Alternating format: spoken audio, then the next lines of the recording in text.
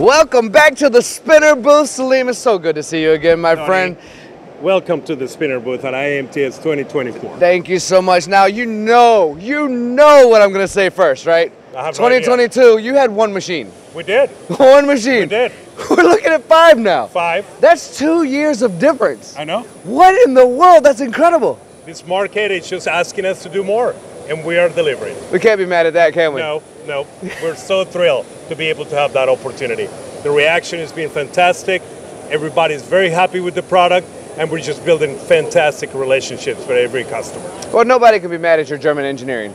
You know, we, we, we've been into Europe. We, Yeah. We're here now. Yeah. We're letting the world know what's going on. And when you have those trustworthy, reliable customers that you continue to have with those customer testimonials, that's why it grows. Yep. It's that word of mouth. It's that marketing team that you have. And but it all starts with quality. Right, absolutely. I mean, look, we have uh, some of the best build machines in the world with innovation, with quality, with precision, and people are taking notice. So that's what takes us from one to five. Well, Salim, I think you and I could probably brag and name drop all day long, but a lot of our audience loves to see technology. Right, let's so should it. we take them and Yeah, show them some yeah. of your new unique I think technology? that's what they want to see. Absolutely. So let's head this general direction, my friends. We're gonna invite you as well because you have some cool setups here, and some of the We things do. I like about your machines, along with the technology, of course, and this one being one of my favorites. You got triple turrets, twin spindle. We talk about this a lot, right? We talk about flexibility. We talk Right. about being able to multitask. This is a multitasking whiz kid at this point, That's right? Right, But it all starts with the foundation on the way up for vibration dampening and making sure you get those parts. That's right. What is happening is that it's becoming a profit center for our customers. They're able to operate at a level that they never have before. Lights out machining, high precision, uh, a versatility, and the ability to look when you are acquiring a piece of equipment like this. Not only your customers are happy because you're delivering on time, your operators are happy because they got the best in class. So this is what you're looking at here. Yeah, best in class. And some of the techniques that I absolutely enjoy when it comes to machining is I didn't have the great opportunity when I was machining on my two axis, three axis machines to do cool things like pinch turning, right? I mean, Right. the ability to do these done in ones, you have the bar feed on the back Yep. to run lights out, put them in a box afterwards and multitasking. How much time, how much money, how many resources are we saving by not having one, two, three operations after this machine getting it done right. in one place? It gets very specific to go from four operations to one operation, from maybe 10 minutes to two minutes of a cycle time, right? To have the ability to have three turrets working on every uh, side of the machine at the same time, to multitasking that way and get your chips out of here in an efficient way. It's just a package that people are, are needing and they're looking for. Yeah, you're exactly right. And I like that you said chips as we walk over to the other one. So what I really enjoy about this chip conveyor is how high up it goes that you can stick a big box under there. Because if I'm machining a ton of material, Yes. then I'm making a lot of chips, and I can't don't want to waste time removing a bucket, putting a Right. bucket. Remo- this is very clever by Spinner. Right, it's very clever. Also, I will point out, Tony, 24 inches in width. Ah, good point. So what you're finding here is the ability to efficiently get chips out of the machine for a production environment. You must have it. Yeah. Can't have a collection of ships getting in the way of your process. I'd make the discussion with you that that might be oversighted in a lot of areas in a lot of places, right? Very- it's very so German. yeah, very German indeed. I, I like this machine as well, Salim, and I'll tell you why. Is because I don't really see this anywhere else. Yes. And what we're looking at for the audience watching as we get the camera guy to come a little closer is a five axis and a three axis inside the same machine. Salim, what's the purpose of this? So this is a mill, right? And what I when I see this mill, it's the U5 1530. I think flexibility. I'll tell you that for job shops around the world, this is our number one seller. Because if you're a job shop and you have the ability in one machine to have full five axis, a three axis table, maybe the opportunity to do four axis work, and the flexibility that comes not only with a state of the art control like this Heidenhain, but pallet changing, automation with robots, and any other system that is available in the market from Spinner Automation as well. You have a combination that gives a job shop the opportunity to take jobs they might not be taking otherwise.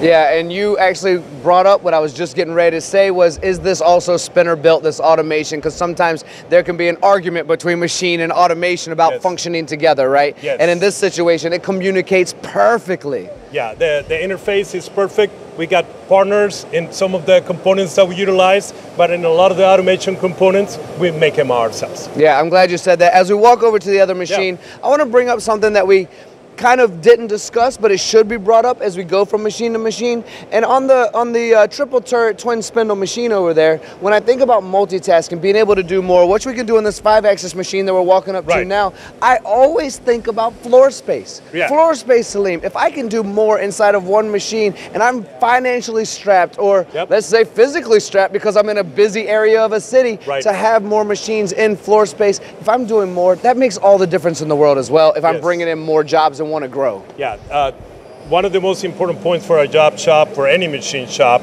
is the floor space. It's always at a premium. So that's one of the characteristics of all our Spinner machines. We put more in a small area. We, we are very compact, but also very ergonomic. So what you saw in the lathe, and you are seeing in all the other machines, is the ability for an operator, right, that has to stand in front of a machine for 10 hours to survive in a way that maintains their health.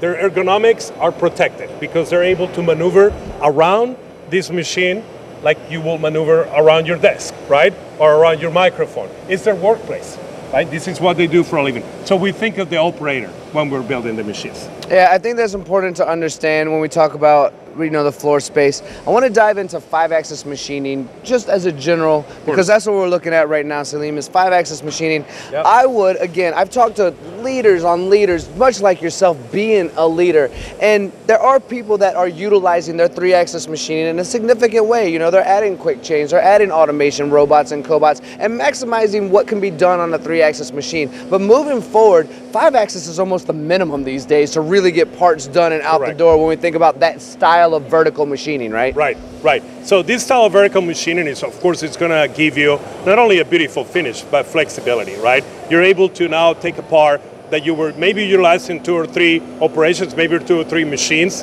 and do it into one operation.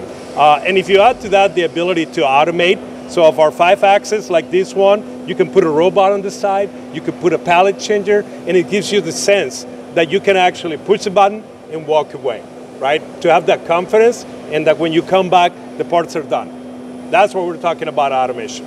And again, you know, when you, when people say you have the confidence to push the button and walk away, my old machinist comes brewing up in my heart, and I go, oh, I'm not I sure I can walk away. But trustworthy machines like Spinner do allow for that confidence to walk away, That's and right. I'm not going to smash something, crash something, destroy a part, waste material, break end mills, that kind of stuff that I used to suffer from whenever I walked away from an That's right. unreliable machine. Right. No, we're committed to making sure that you feel comfortable that the quality of part that you're going to get out of our machines is the best you've ever done. Because we know you're proud of your work and we want to give you the tools to get there.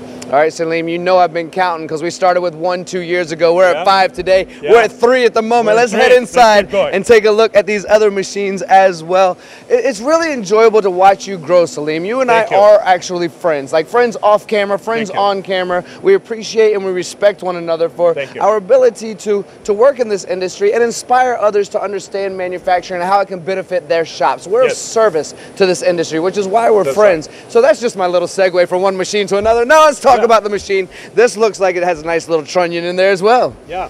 So this is a very versatile machine. We were talking about the floor space, right? So you see it right here.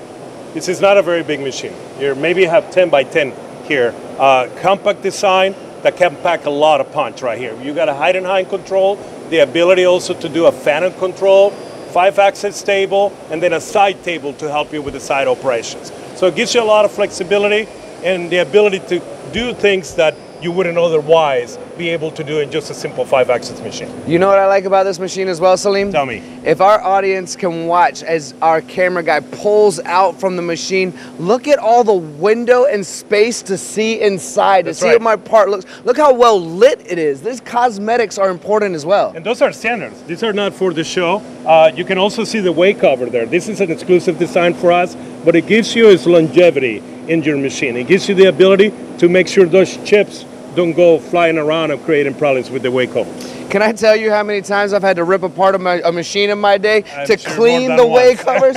so many times the way covers are so I'm happy you brought that up as well. That's we right. have one more machine, discussionably both of our favorites. I know it's incredibly popular. Who doesn't love a mill turn machine to have the ability to do done in ones? This has become the crown jewel, Tony. Uh, the crown jewel, I like that. Absolutely. I mean, because you know, you stand here and you look at this machine. You we see a lot of machines, right? Just like this young man is doing right now. I look It's uh, admiring the machine. It is beautiful. Right. So, so we, we can look at this thing as a pinnacle of mechanical engineering, right?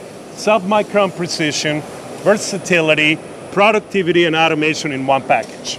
Let's, it's because we're closing out with this machine, because Yeah. it is the crown jewel, Salim. Yeah. What do you believe mill turn brings to the table that no other machine can bring to the table? For people who are considering my three-axis, my five-axis, Yep. my triple turret, my twin spindle, everything that can be an option. Yep. Where does mill turn come into play? Yeah, this particular mill turn is going to give you uh, the ability to tackle to machine complex parts with very intricate uh, geometry in a very precise submicron way. So you're going to be pulling a lot of uh, shapes, even for example here with the B axis, a lot of people are doing five axis work. Uh, with the turret, you can do a lot of milling with different angles that you wouldn't otherwise been able to do. You can see the spindles are moving up and down, that you can also even put a bar feeder or a robot here. Uh, the hard turning is something that you can do in this machine that you wouldn't be able to do in many other machines. So flexibility, uh, the ability to tackle very difficult parts in a very precise way. One thing I want to bring up as I see this giant screen here, Salim, is look how clean, big, and Yeah. seemingly user friendly and informative this screen is. And I think this is how we'll close it out. But I have to bring this up because walking around, this is important as well, isn't Yes. it? And and I think this is indicative of how we perceive manufacturing. Uh, operators, machinists are professionals. And a professional needs to have the best possible equipment in front of them so that they can do their job. And they can do it in a dignified way that they can be proud of.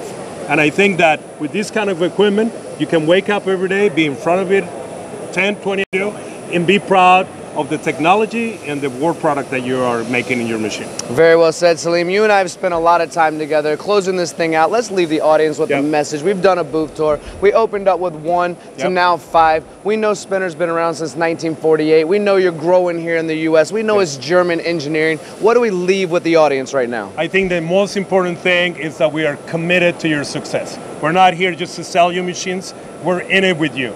We want you to succeed, and you're part of uh, our commitment to making that success possible. Have I told you today that you're my hero? No, but you can. Appreciate your time. Appreciate the you. Tour. Thank, Thank you you for the so much. technology information, and thank you all for watching. If you spent your valuable time, time is the one thing we cannot manufacture more of. No matter how good Spinner and, and Salim are, we cannot manufacture more time. Right. So if you spent it with us, thank you so much. We appreciate you.